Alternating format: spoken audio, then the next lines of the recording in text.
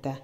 Versate 80 g di zucchero bianco, un cucchiaio di cacao amaro, noce moscata, un cucchiaio di cannella e poi io verso 3 cucchiai di acqua naturale.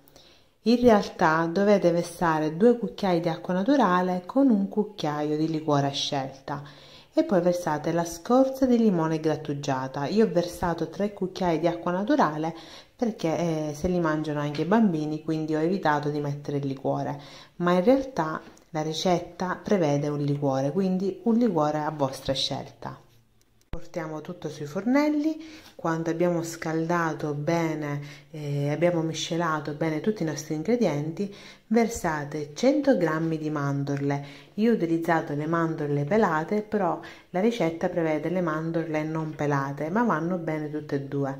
L'importante che sono mandorle tostate, mi raccomando, le mandorle devono essere tostate. Potete tostare le vostre mandorle in forno a 160 gradi per 5 minuti oppure le mettete in padella, mettete il coperchio sempre per 5 minuti con fiamma bassissima e le vostre mandorle eh, diventeranno tostate in pochissimo tempo. Bene, amalgamate tutti gli ingredienti, quindi le mandorle con tutto il vostro composto. Quando otterrete una consistenza sabbiosa potete spegnere subito la fiamma perché i vostri sassi d'Abruzzo sono pronti. Quindi prendete un piatto, mettete la carta forna sopra e dividete con un cucchiaio le mandorle, quindi da ottenere dei piccoli sassi, così come faccio io.